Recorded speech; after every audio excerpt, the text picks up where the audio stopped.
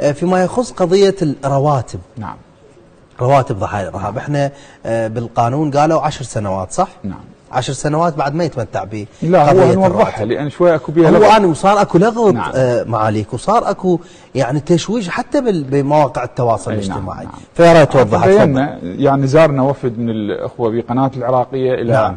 مؤسسة الشهداء وأيضا بينا في بعض المقاطع والآن أيضا بينها نعم. حتى لا يقع ذوي الشهداء في شك من هذا الموضوع. نعم آه يوجد نص في قانون رقم 15 لسنة 2000 آه في قانون رقم 57 لسنة 2015 اللي خاص التعديل الأول لقانون مؤسسي لقانون ضحايا الإرهاب فقره بأنه يعني يجوز الجمع بين الراتبين لمدة 10 سنوات.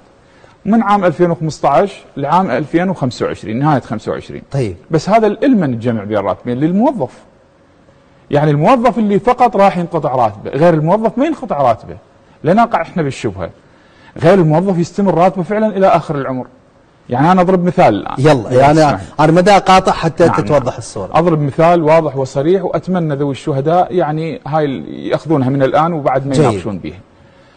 الآن راتب الشهيد مليون و ألف دينار. يتوزع على والدي الشهيد نفرض وزوجة الشهيد نعم. وأولاده نفرض ثلاث ثلاث ثلاث أولاد. نعم. فستة يصير عندنا والدي الشهيد وزوجته وثلاث أولاد يصير ستة. طيب. المليون و200 تتوزع على ستة. نعم. يعني ال- ال- الفرد الواحد ياخذ 200 ألف دينار. نعم. نفرض نفرض أحد أولاد الشهيد هو موظف. 200 ألف دينار ياخذ.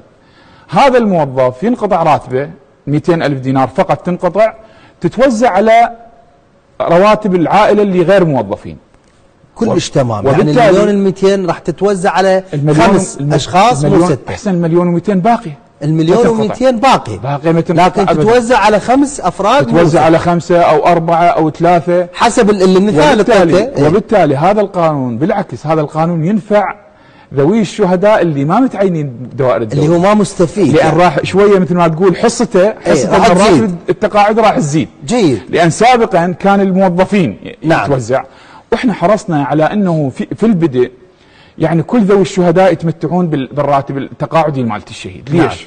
لأن هو حق هو حقه مو راتب فسواء كان موظف أو غير موظف إلى راتب جيد ولذلك وضعت هاي العشر سنوات أو حتى في قانون مؤسسة الشهداء نظام البائد 25 سنة منذ عام 2006 جيد.